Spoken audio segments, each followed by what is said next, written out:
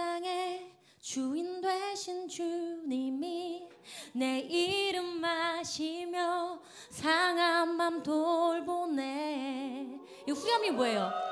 나로 인함이 아닌 주가 행하신 일로 나의 행함이 아닌 오직 주를 위하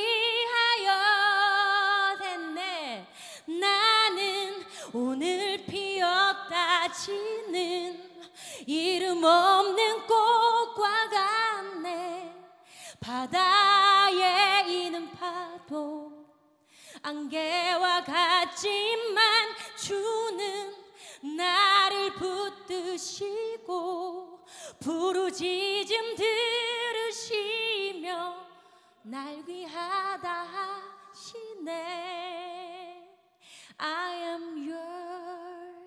그쵸? 이 찬양이 계속 생각이 났어요 그냥 말씀하신 것처럼 이 땅에서 불을 누리든 누리지 않든 원하는 것을 이루든 성취하든 성취하지 못하든 그냥 이름 없는 꽃과 같은 거고 나로 인함이 아니라 주로 인하여서 내 삶이 삶, 삶이다. 삶이 삶다워지는 것.